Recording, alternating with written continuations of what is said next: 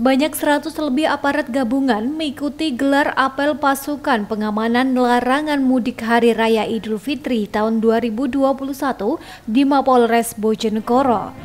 Apel gelar pasukan dipimpin langsung oleh Bupati Bojonegoro Ana Muawana, didampingi Kapolres Bojonegoro dan Dandim 0813 Bojonegoro.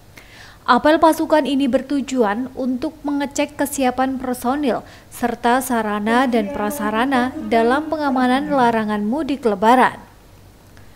Ratusan pasukan gabungan tersebut akan dibagi di tiga pos titik pengamanan. Setiap pos sebanyak 36 personil bersiaga selama 24 jam secara bergantian. Sistem dalam pengamanan nantinya memantau plat kendaraan luar Bojonegoro dan diberhentikan untuk mengetahui tujuan dari perjalanan tersebut. Bagi masyarakat yang melakukan bepergian keluar daerah atau mudik, maka diberikan pemahaman dan mengutamakan 3S, senyum, sapa, dan salam. Jika terbukti, maka diarahkan untuk balik pulang kembali. Tujuan dari kegiatan tersebut untuk meminimalisir atau mencegah penularan COVID-19. Sebab hingga saat ini, angka positif COVID-19 khususnya di wilayah Kabupaten Bojonegoro masih tinggi.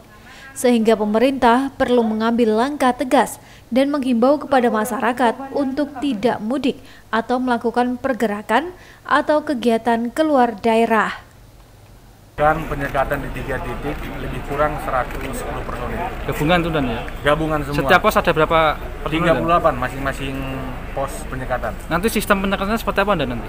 Jadi otomatis kita akan terutama kendaraan yang luar Bojonegoro akan kita berhentikan, kita tanyakan tujuannya apa.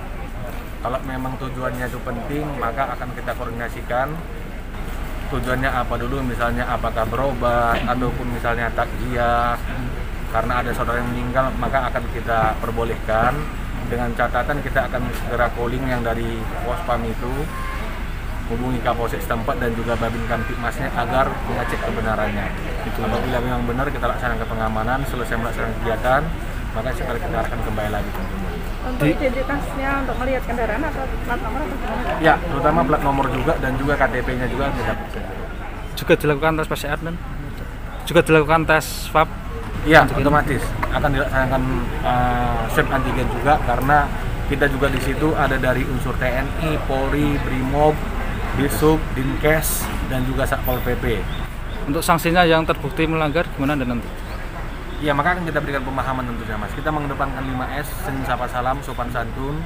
Kita akan memberikan pemahaman bahwa memang kalau tidak ada kepentingan kita kembali suruh agar stay at home saja. Mulai kapan deh? Mulai hari ini jangkatannya. Kapolres Bojonegoro menghimbau kepada masyarakat untuk tidak mudik ke Bojonegoro. Bagi masyarakat Bojonegoro juga dihimbau untuk tidak melakukan kegiatan di luar daerah. Pada momen Hari Raya Idul Fitri nanti dapat melakukan halal bihalal secara virtual. Hal ini demi menjaga kesehatan bersama supaya tidak tertular virus COVID-19. Samsul Alim, JTV, Bojonegoro.